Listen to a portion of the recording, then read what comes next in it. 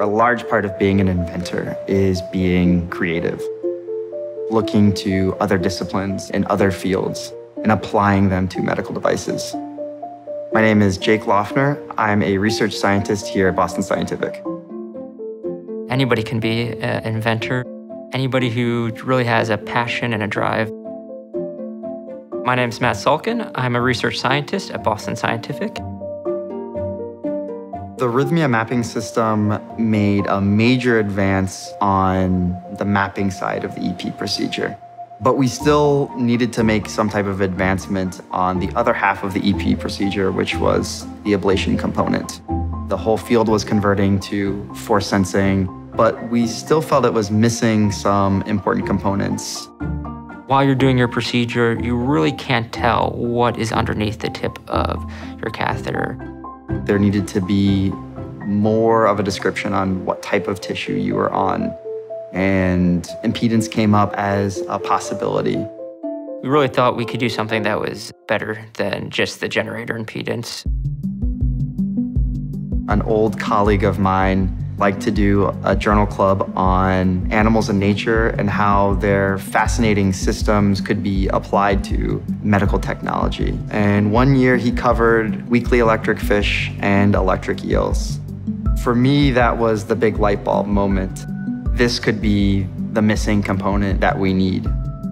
Weakly electric fish and electric eels even do something that's really interesting. They're able to drive a small amount of current from their head to their tail to produce a local electric field around their body. Within their skin, they have specialized cells embedded to actually detect the compression or the expansion of these electric field lines as they close in on an object like a rock. Electric fish use electrophysiology to actually navigate every single day. Why shouldn't we be using this really elegant system and apply this to our catheters? Our therapeutic catheter is the IntellaNav MiFi OI catheter. It has three miniature electrodes on the distal tip Instead of measuring impedance from the tip of the catheter to a patch placed on the surface of the patient, we actually measure impedance by injecting a small amount of current from the tip of the catheter and sinking that current on the proximal ring of the catheter. Creating these local electric field lines, we use the mini electrodes embedded within the tip of the catheter similar to those specialized cells within the skin of the electric fish to actually sense the compression or the expansion of our electric field lines as we close in on an object. In this case, the heart wall. It was a great opportunity which we could use some basic principles to really come up with a novel product.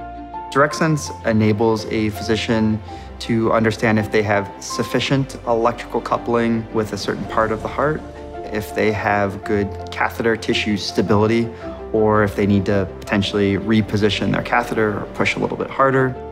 It enables them to determine their potential for resistive heating. And then during the actual RF application, it allows them to understand the amount of local impedance drop now, with the addition of DirectSense and impedance technology, you really start to understand what is underneath your catheter. Sometimes experiments can be very, very tedious, but at the same time, there's these moments of just absolute discovery where you feel like you're kind of punching through. What we really are doing here is giving a physician, you know, a little bit more light in a dark room and makes their jobs just a little bit easier. You go into biomedical engineering with the idea that you're there to improve people's lives and patients' lives. This technology has the potential to do that. That's really why we do what we do at Boston Scientific.